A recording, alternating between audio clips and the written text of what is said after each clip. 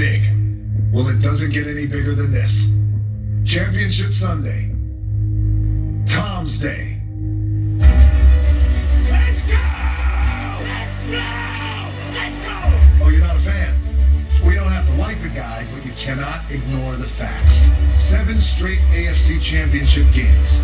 Five-time Super Bowl champion. Four-time Super Bowl MVP, and arguably the best of all time. Brady stands alone. Five Super Bowl titles. But the Jacksonville Jaguars and their monster defense are here too.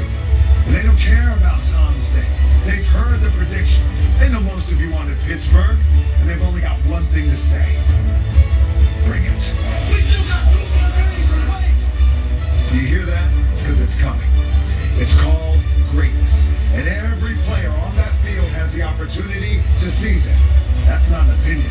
That is a message straight from me. The jabroni beating, pie eating, trailblazing, eyebrow raising, championship Sunday, test the limits of your soul. Leave it all on the line for the Super Bowl. 60 minutes from now, the ultimate AFC battle begins. It is David versus Goliath. Sacksonville versus the Hoodie. Both of these teams know how to go big. Sensational! Can you believe this? But to have a chance at immortality, the question is, who goes bigger?